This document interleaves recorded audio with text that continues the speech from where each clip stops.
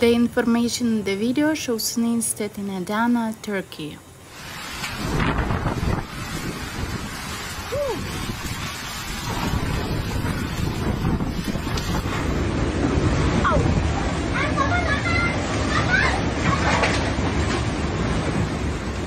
Roofs of several houses and billboards were blown away due to heavy rain and storm in Adana.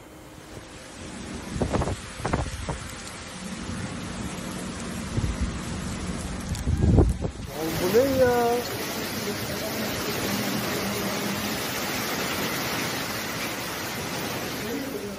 A tower crane and numerous trees fell at the construction site because of the hurricane.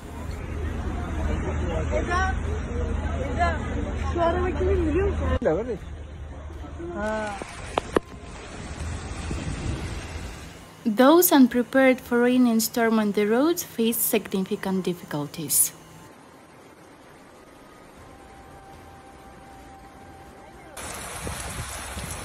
Ağaç sökülmüş gidiyor.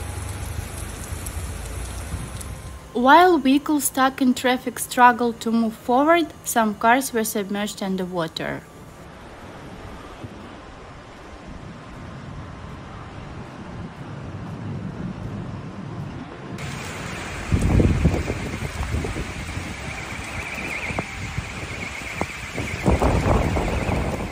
Emergency services are working around the clock to address the aftermath of the severe weather.